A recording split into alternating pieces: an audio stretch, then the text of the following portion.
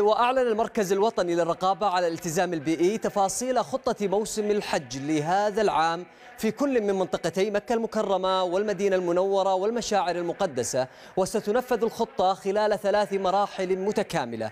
وللمزيد عن التفاصيل تنضم إلينا وعبر الهاتف الأستاذة نادية العمودي المدير التنفيذي بالمركز الوطني للرقابة على الالتزام البيئي. أهلا وسهلا بك أستاذة نادية وأرحب فيك. وفي البداية نريد أن نتعرف على المركز وما هو وما هي صفته وماذا يقدم من خدمات؟ تفضل. أهلا وسهلا حياكم الله وأسعد الله جميع أوقاتكم. شكرا على الاستضافة. المركز الوطني للرقابة على الالتزام البيئي آه، أحد الأذرع الموجودة في منظومة حماية البيئة اللي موجودة في المملكة العربية السعودية ويعنى بالالتزام لتعزيز استدامة البيئة والمساهمة جميل. في ازدهار القطاعات التنموية وتحسين جودة الحياة الحياة. إحنا الحقيقة في المركز نؤمن أن الالتزام هو مسؤولية الجميع وأن دورنا في المركز هو رصد حالات التلوث وتقييم البيئي وتعزيز الرقابة ورفع آه، مستويات التوعية والإرشاد البيئي. جميل. آه، سيدة نادية أبرز المهام اليوم اللي ستقدم آه، للحجاج وحجاج بيت الله الحرام والخطة التشغيلية التي يقوم بها المركز الوطني لتقديم خدماته في موسم حج هذا العام. تفضل. نعم. أبرز المهام الحقيقة هي مراقبة سلامة وجودة الأوساط البيئية هواء مياه وتربة.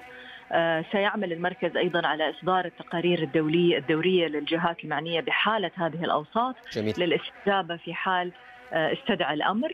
آه، سيعمل المركز أيضا من خلال حملات التوعية بالعديد من اللغات لرفع مستوى الالتزام للأنشطة ذات التأثير آه، التي قد تؤثر على آه، نقاء الأوساط البيئية بالنسبة للحجاج وخاصة في أماكن المشاعر المقدسة. وبالتأكيد إحنا جزء من منظومة متكاملة من جميل. آه، جهات حكومية عندها خطة واضحة الملامح الحقيقة وأدوار محددة لحج آمن وبطمأنينة لحجيج العام إن شاء الله. سيدة نادية أكيد عندكم استراتيجية اليوم ستقدمونها في الحج. ما هي أبرزها وكيف تقدمون اليوم جودة خدمات لضيوف الرحمن نعم بنينا استراتيجيتنا هذا العام الحقيقة من خلال دراسة المواسم السابقة جميل. وتواجدنا والخروج بأهم الدروس المستفادة لإعداد الخطة التشغيلية لهذا العام. وخرجنا بثلاثة مراحل أساسية لتنفيذ دور المركز ضمن رحلة حجيج آه، موسم آه، هذا العام. آه، وضعنا 20 محطة آه، ما بين مكة والمدينة لقياس جودة الهواء.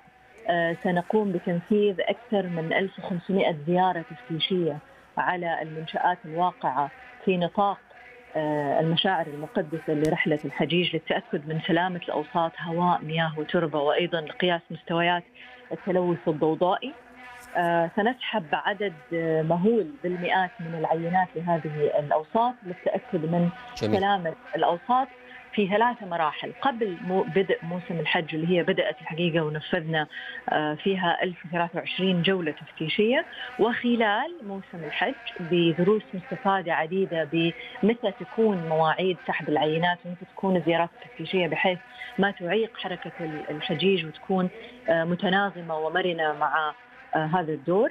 والمرحلة الثالثة هي بعد انتهاء رحلة الحج أيضا للتأكد من سلامة الأوساط البيئية وتنفيذ الخطط التصحيحية والإشراف على إعادة التأهيل آه، في حال الحاجة لذلك جهود كبيرة يقوم بها المركز الوطني للرقابة آه، على الالتزام البيئي وإحنا نشاهدكم صراحة في كل عام آه، جهودكم كبيرة ل آه، يعني تكون هناك جودة صراحة تقدم من خلال البيئة في المشاعر المقدسة. المدير التنفيذي بالمركز الوطني آه، و- آه، والالتزام البيئي الأستاذة آه، نادية العمودي. شكرا جزيلا لكم. ونتمنى لكم إن شاء الله آه، التوفيق في هذه المهمة وفي خدمة حجاج بيت الله الحرام. أيضا مشاهدي